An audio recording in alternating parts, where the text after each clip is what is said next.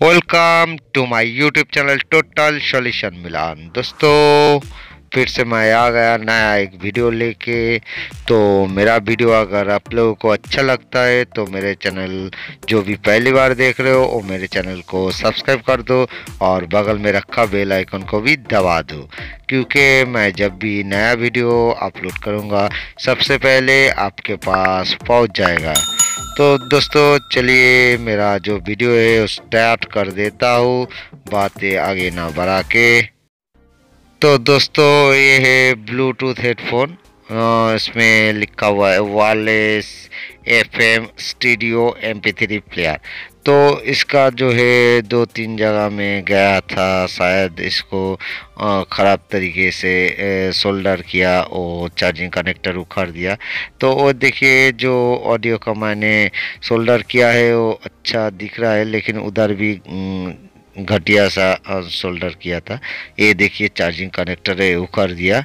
दो बोट में से बोट का जो फॉयल है, वो भी उठ गया। और देखिए, कितना गंदा तरीके से इसको सोल्डर किया है, वो मैं दिखा रहा हूँ। तो मैं ये लगभग तो कर ही लिया था, लेकिन सोच रहा था, चलो इसका वीडियो भी डाल देता हूँ। तो इसीलिए मैं इसका वीडियो अब कर रहा हूँ। ये देखिए सोल्डर एक कितनी अच्छा तरीके से करा है मैंने, लेकिन वो भी थोड़ा अच्छा नहीं था इतना, जितना मैं किया था। तो चलिए मैं इसको थोड़ा पेस्ट लगा लेता हूँ। अभी जो उसका शोल्डर है उधर, जमा हुआ उसको साफ़ करेंगे। साफ़ करने के बाद उसको देखेंगे कि कितना फॉयल बोर्ड से उठा हुआ है, उसको कैसे हम सेट करेंगे और नया वाला कनेक्टर लगाएँगे। तो इसीलिए ब्लूटूथ जो है डेड हो गया इसका जो चार्ज नहीं है चार्ज नहीं हो रहा है। तो ऑन तो नहीं हो सकता। तो इसको, चलिए, सफ़ाई मैंने कर दिया है। अभी इसको देख, दिखा रहा हूँ मैं।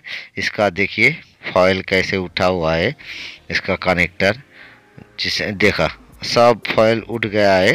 इसका नेगेटिव पॉजिटिव का फॉयल उठ गया है। और देखिए, अच्छी तरीके से मैंने सफ़ाई कर दिया। तो इसमें मैं लगाऊँगा यूनिवर्सल कनेक्टर आप जो है यूनिवर्सल कनेक्टर ही इसमें बैठा सकते हो, क्योंकि कंपनी जिस तरह का कनेक्टर देता है चार्जिंग कनेक्टर वो तो आसानी से मिलता नहीं है। और वो एक बार उखड़ जाए तो उस जगह दूसरा कनेक्टर नहीं बैठता है। नहीं बैठता है दूसरा कनेक्टर और उसमें बैठाने से भी ठीक तरह से नहीं बैठेगा, फिर से उठ जाएगा वो काम नहीं करेगा, ठीक तरह से।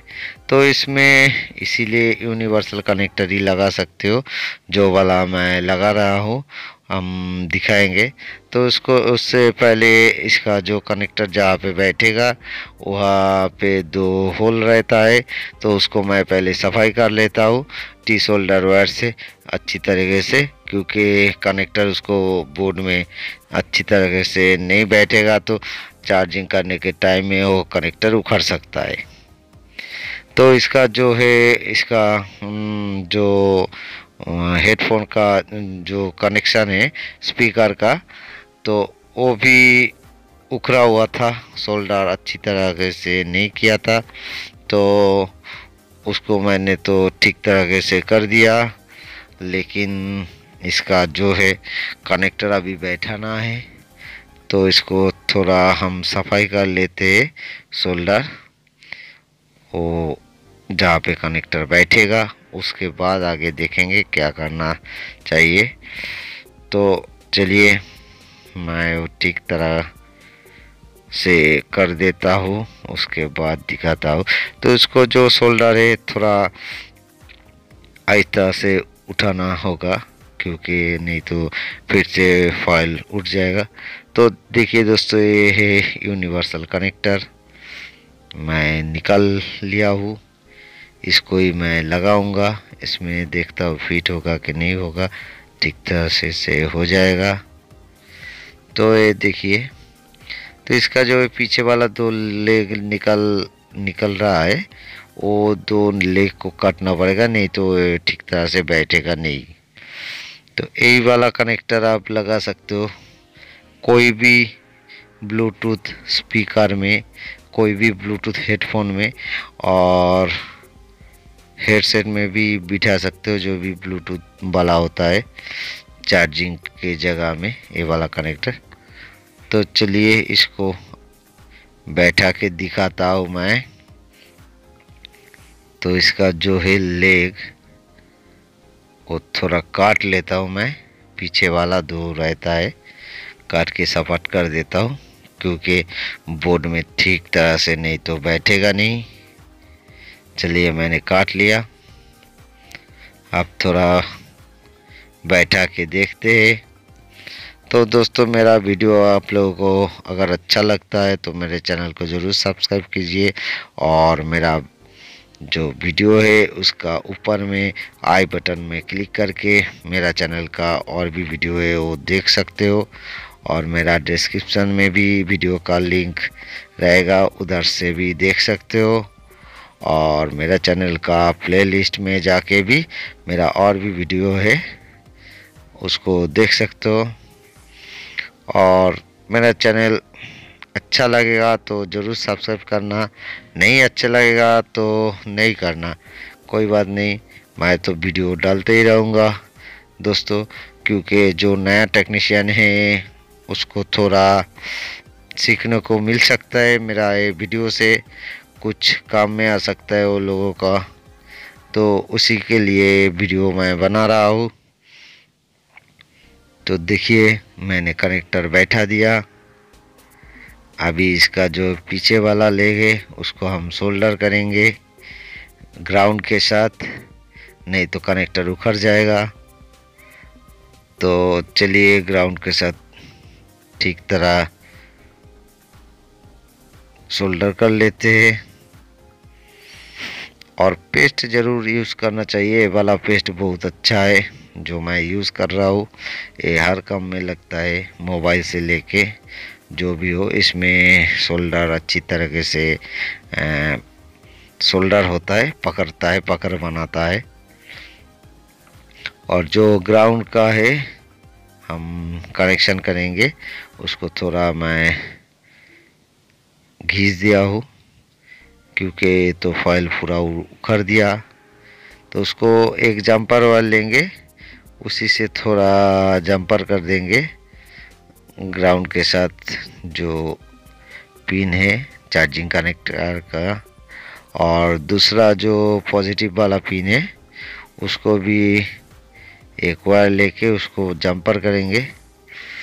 लेकिन अभी थोड़ा मीटर को कंटिन्यूटी मोड में रख के चेक कर लेते ग्राउंड के साथ।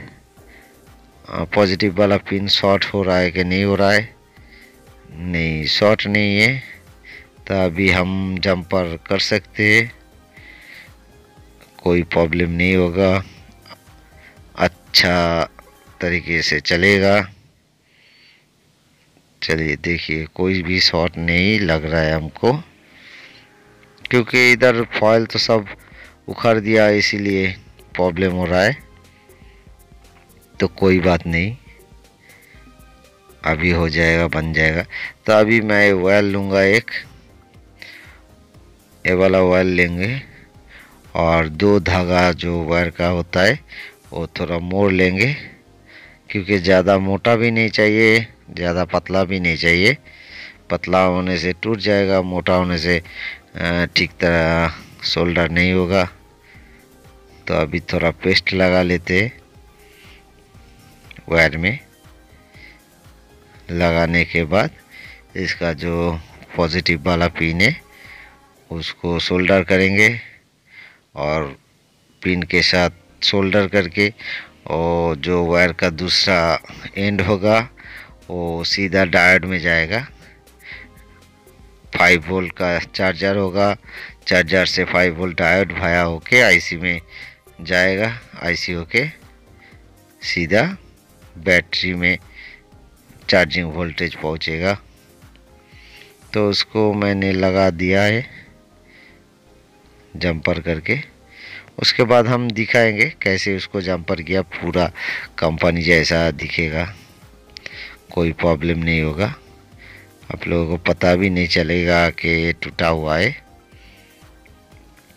और सर्विस भी अच्छा देगा। चलिए इसका जो ग्राउंड वाला पिन भी शोल्डर कर लेंगे ऐसे ही जंपर वाला लगा के, थोड़ा लंबा करके। तो दोस्तों देखिए, ये वाला जो काम है, ये हर बारी का नहीं है। शांति बना के करना चाहिए काम। तो चलिए, तार का जो हम काट देते थोड़ा। अभी देखिए, बैठ गया। अभी दिखा रहा हूँ, जूम करके। इसका देखिए मैंने।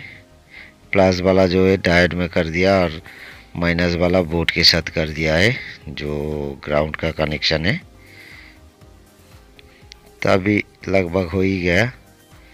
थोड़ा इसको क्लीन भी कर लेंगे। अभी चार्जर डाल के दिखाएँगे कि चार्जिंग वोल्टेज आ रहा है कि नहीं आ रहा है। उसके बाद इसको सेट करके हम चार्ज करके दिखाएँगे। देखिए, चार्जिंग वोल्टेज आ गया, लेकिन बैटरी लगा हुआ नहीं है, इसलिए बैटरी का जो इंडिकेटर है। वो नहीं जला। दूसरा जो ब्लू वाला है बोट का वही जला है। तो अभी जो है बैटरी का कनेक्शन लगा देते हैं हम। चलिए, इसको अभी लगाएँगे। अभी देखना, चार्जिंग वाला लाइट जलेगा। देखिए, जल रहा है। मतलब बैटरी चार्ज हो रहा है। और ये बहुत दिन से चार्ज नहीं हुआ, इसीलिए इसका बैटरी थोड़ा फुला हुआ है, इसके अंदर गैस भर गया है। थोड़ा चार्ज करने से ठीक हो जाएगा। बैटरी जब चार्ज करते करते रख देते हो तो वो फूल जाता है। इसीलिए थोड़ा फूल गया है। और इसका जो है, दूसरा वाला जो स्पीकर का कनेक्शन है, वो भी ठीक तरह से लगा हुआ नहीं था। उसमें दूसरा वायर लगाया था। तो वो भी हमने चेंज कर दिया। नहीं तो उसमें भी प्रॉब्लम होता। तो इसीलिए दूसरा जो वायर लगा लिया। अभी ये बोर्ड को हम इसमें सेट कर लेंगे। सावधानी से करना पड़ेगा। नहीं तो इसका जो माइक्रो स्विच है, वो टूट सकता है। क्योंकि इसका जो माइक्रो स्विच है, इसका थोड़ा सा ही भाग ग्राउंड के साथ लगा रहता है। तो हर बारी करने से टूट सकता है। इसको चलिए अच्छी तरीके से बैठा दिया मैंने। थोड़ा प्रेशर कर देंगे। अच्छा से सेट हो जाएगा। सेट होने के बाद इसका जो है रबर को लगाएँगे। रबर पैड जो इसका ऊपर वाला ढक्कन है, उसके साथ ही लगेगा। चलिए, इसका लगा दिया है मैंने फिट कर दिया। अभी इसको चार्ज चार्जर डाल के देखेंगे, अभी चार्ज हो रहा है कि नहीं हो रहा है। देखिए, डाल दिया। देखिए, दोस्तों चार्ज हो रहा है। तो दोस्तों thank you watching my video मेरा